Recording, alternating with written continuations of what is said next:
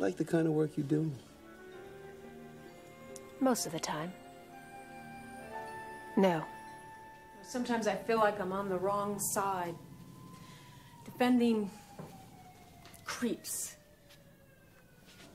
Don't take that personally. You're gentle. But I've seen a lot of gentle people get hurt.